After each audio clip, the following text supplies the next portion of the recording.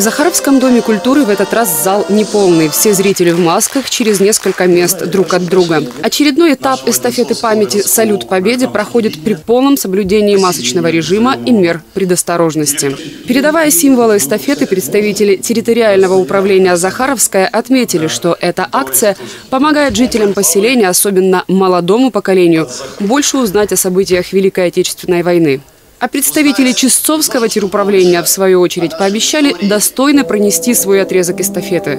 Как отметила председатель окружного совета депутатов Татьяна Одинцова, этому не смогут помешать даже сложные условия пандемии. Конечно, мы соблюдаем все предписания Роспотребнадзора и в зале соблюдая социальную дистанцию. Все находились в масках, сидящие в зале.